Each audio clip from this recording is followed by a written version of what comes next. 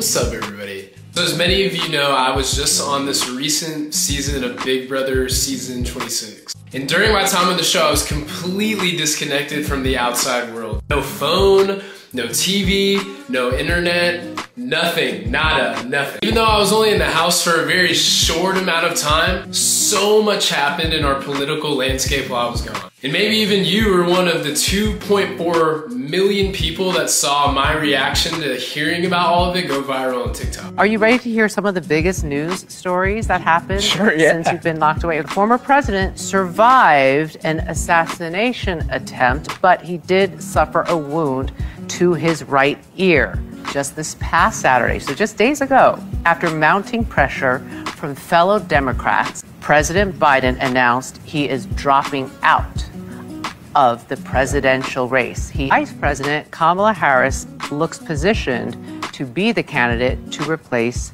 Joe Biden. Hate cannot be what's running our lives. We have got to love. We've got to make forgiveness a priority. Regardless of where you stand on either side, love has to be the priority for us moving forward. And look, although I'm not extremely political, I am super proud to be American. And one of the greatest rights we get as Americans is our right to vote. To have tangible, direct impact around the decisions on who lands in office and who makes decisions in our everyday lives. And voting, even so much more than our right as Americans, is literally our legacy. And my generation, unfortunately, has been marked by thinking that our vote and our voice we never make an impact or make a difference. But I'm here to tell you that that is not the case. Take a moment and ask yourself, why are you voting? Who are you voting for? I know I'm voting for the kid in school who needs a hot meal.